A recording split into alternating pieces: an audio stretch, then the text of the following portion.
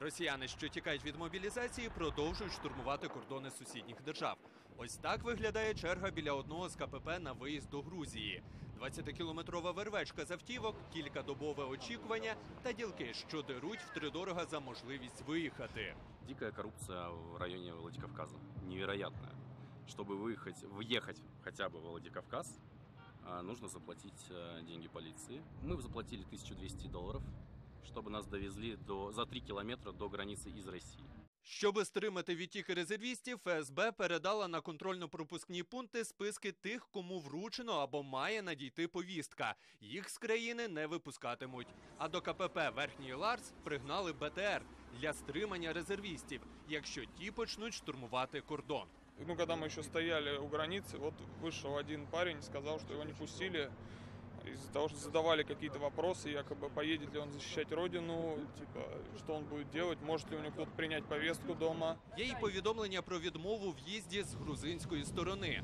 Зокрема, ще з літа російські ліберали скаржаться, що їх не пускають до країни. Водночас у соцмережах ширяться повідомлення, що тепер грузини особливо прискіпливі до тих, хто підтримує розв'язану Кремлем війну. Усім привіт! Розвернули на кордоні через букву Z на машині. Грузинам би згадати 8 серпня 2008 року, як ми на танках до них заїжджали. Та про трагічну дату і її винуватців грузини пам'ятають добре.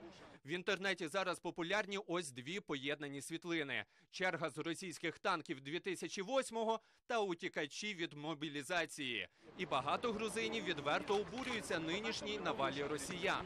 Зачем в Польшу вы уехали? Зачем э, это самое, в Белоруссию, Молдавию? Извините, Зачем? пожалуйста, мы приехали только что в вашу страну. Мы вам лично ничего плохого не сделали. Вот Россия делает, вы, может быть, ни при чем. Мо- Вы должны были остаться там. Вы здесь чужие, когда вы приезжаете. Вот потому. Є й інші приклади, коли місцеве населення ставить на місце непроханих гостей. Гурт приїжджих виштовхали з маршрутки за слова Слава Росії. Мотайте отсюда, быстро! Быстро мотайте отсюда! Езжайте в Гнилую Россию. Россию! В Россию езжайте. Проклятые! Быстро! Оккупанты. Никому вы не нужны ни в Европе, ни в Америке, и ни в Грузии! Грузія популярна серед росіян, адже перебувати тут ті можуть упродовж року. Потім, після виїзду в будь-яку іншу країну, ще рік. Скільки саме росіян приїхало після оголошення мобілізації, поки не повідомляють. І на заклики громадськості негайно запровадити візовий режим з РФ проросійський грузинський уряд поки не реагує. Тим часом жителі країни постійно влаштовують мітинги на підтримку України і добре вивчили знамениту кричалку, вигадану українськими футбольними фанатами.